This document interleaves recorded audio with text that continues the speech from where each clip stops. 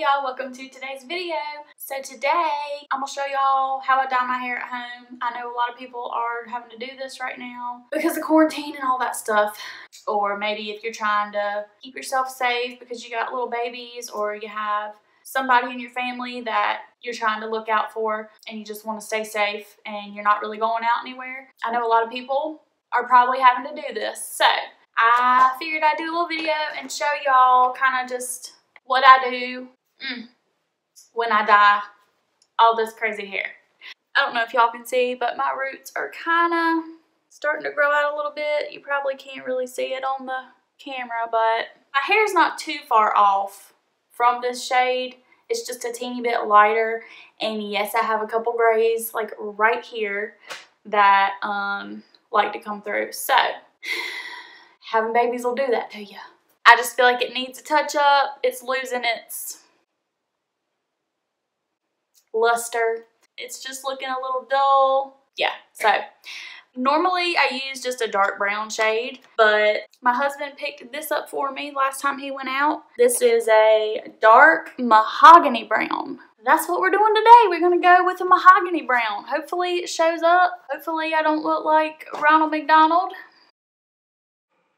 It doesn't really look too red or anything on here, which I've gone red before and I liked it, so we'll give it a try.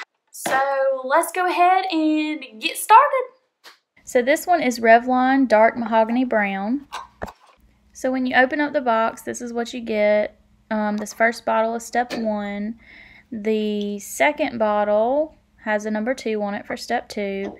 And then the number three is this little packet of conditioner that you use when you rinse out the color.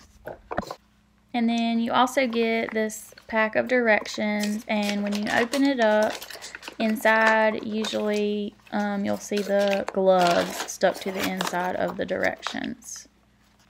So here are my gloves. I'm just going to pull those off because you definitely need gloves when you're doing this.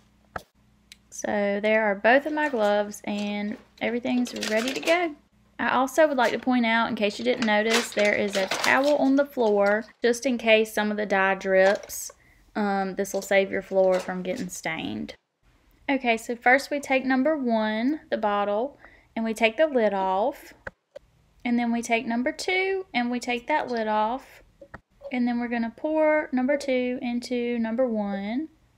Make sure you get it all in there. Then you just put the lid back on and shake it up real good. It says to thoroughly mix. So you really want to make sure that you get everything mixed really well.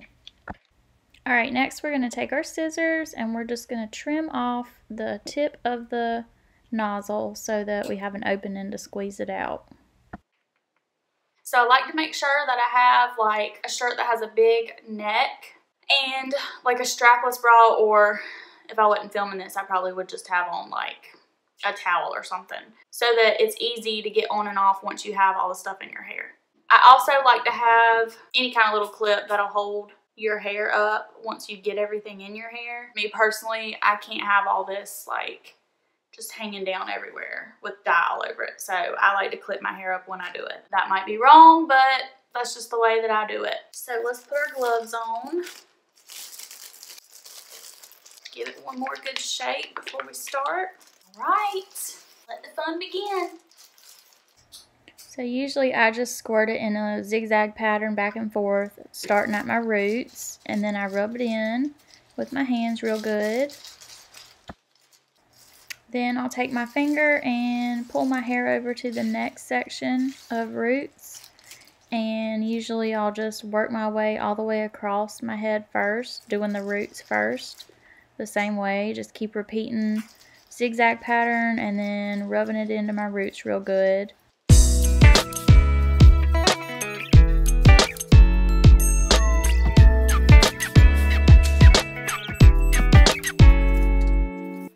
And y'all, I love the way hair dye smells. I know it's probably toxic, but I just think it smells so good. Okay, so now I'm going the other direction and doing the other side of my head and the roots on that side.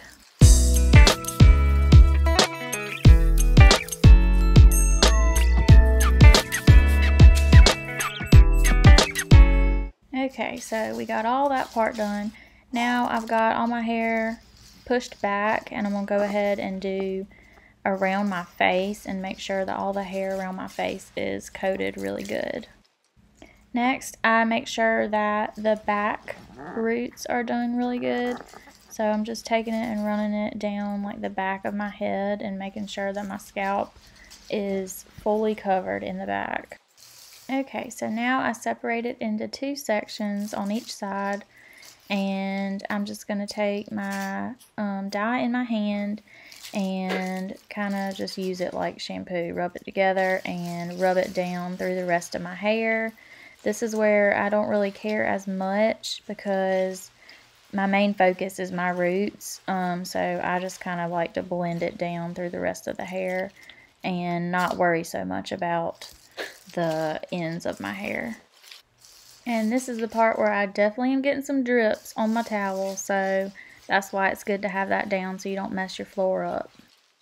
Okay, so I went ahead and clipped up that half of my hair that's done just so it's not sitting on my shirt and like rubbing my arms and getting dye everywhere. So it keeps it a lot neater when I just throw it up like that. So I know I probably could definitely use two boxes if I cared about getting every strand and making sure my hair was fully coated. Um, but since I really just sort of blend out the ends and my main focus is the roots, um, I only use one bottle and it seems to work okay for me. Okay, so once I've got that part done, I throw my hair up in a clip all on top of my head. And then we're going to take our gloves off and I like to fold them inside out when I take them off so I don't get dye on everything. And I usually just throw everything in that little box that everything came in just to keep the dye from getting on anything. And I just throw that whole box in the trash. And now we wait 25 minutes. Um, while I'm waiting, I usually take some makeup wipes that um, I don't really care about. Like these I got in one of my BoxyCharms. And I'm just going to go ahead and try to get all the dye off of me because it definitely gets on my arms, on the back of my neck, and of course it's all over my face and my forehead, which I really like to have makeup on when I do it because the makeup kind of blocks it from getting on my skin, which is nice. So it just wipes right off. Also, make sure you wipe the tops of your ears and around your ears. And I'll see y'all when it's time. Okay, so time's up. We're going to go rinse this out in the shower. And, oh, don't forget your little packet of conditioner. You need to take that with you when you rinse it out. Alright, so we're out of the shower. It's all rinsed out. And I love this little towel from L'ange. It's got like a button on the back, so it's perfect for holding all my hair up. Um, it just keeps it all nice and neat, and I love it. So we can't really tell what the color's going to look like till we dry it, but I did go ahead and touch up my makeup just in case you're wondering. So we're going to take the L'ange Miracle Mist and I'm going to go ahead and spray that through my hair. And then I'm going to section off the top half of my hair and then go ahead and brush through the bottom half that's out.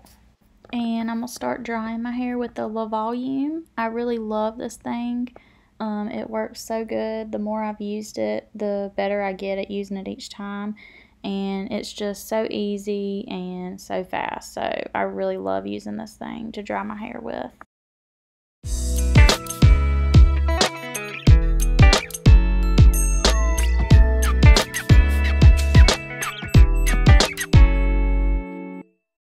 Okay, so I've got the bottom section done. I'm going to go ahead and take the top out and spray it down and brush it out real good and then we're going to dry the top part.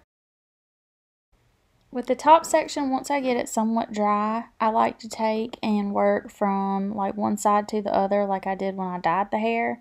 So I'll go down the sides and flip it over on top of my head and then I'll start on the other side and work it back in the other direction just to make sure I get everything really dry and get the roots dried really good. So this seems to work good for me. Okay, so now I like to make sure I find my part where it's supposed to be. And y'all, I was burning up so bad. It's so hot. Every time I dry my hair, I feel like I'm dying. But this is the end result. Overall, I don't know if y'all can see the roots, but the color is, I think, a little too light for me this time. I think it's pretty and it did a good job. It just didn't cover as much as the dark brown that I normally use does. but it definitely looks better than it did. We're going to put some spray, a little bit more just to give some shine. And I hope y'all like this video. Thank y'all so much for watching, and I'll see y'all in my next one. Bye.